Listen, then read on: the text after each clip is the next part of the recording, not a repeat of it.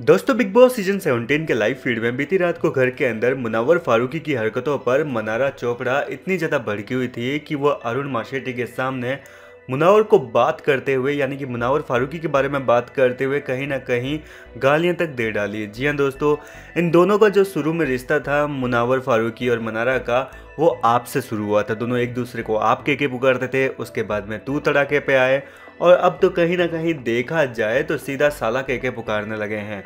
दरअसल दोस्तों, आपको बता दें कि जिस तरीके से बीते दिन घर के अंदर जो कैप्टन से टास्क हुआ था, उसमें मुनावर फारूकी ने एक बार फिर से मनारा चोपड़ा को जो धोखा दिया है, कहीं ना कहीं उसकी वजह से मनारा जो है, वो काफ़ी ज़्यादा हर्ट हुई है। जी हाँ दोस्तों, मनारा का दिल एक बार फिर से टूट गया है मुनावर की वजह से और इसी वजह से मनारा जो है, वो बीती रात को काफ़ी ज़्यादा भड़की हुई दिखाई दी। और इस दौरान वो अरुण के सामने कह रही थी कि, ये साला किसी का भी सगा नहीं है, ये अपने दोस्तों का ही गला काटता है।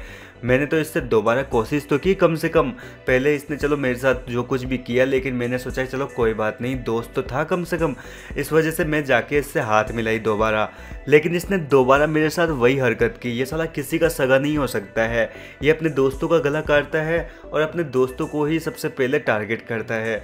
ना इस ये मेरा हुआ, ना किसी और का हुआ। देख ले, इसकी किसी के साथ भी अभी तक अच्छी वाली दोस्ती नहीं है घर के अंदर।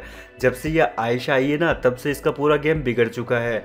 और इस दौरान दोस्तों, यहाँ पर अरुण जो है, वो भी कहीं ना कहीं मुनावर फारूकी पर भड़के हुए नज़र आए थे।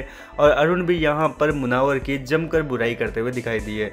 हालाँकि कहीं ना कहीं मनारा चोपड़ा की तो बात कहना सही है, क्योंकि मनारा को एक बार नहीं, बल्कि दो बार मुनावर की ओर से धोखा मिल चुका है, जिसकी वजह से मनारा अपनी बड़ास निकालते हुए नज़र आई। फ़िलहाल क्या कहना चाहेंगे इस पूरे मुद्दे को लेकर? आपको कौन सही लगता है? इसमें अपनी राय हमें कॉमेंट करके बताएँ। लेटेस्ट अपडेट्स के लिए चैनल को सब्सक्राइब करें, ताकि हर अपडेट आप तक पहुँचे सबसे पहले।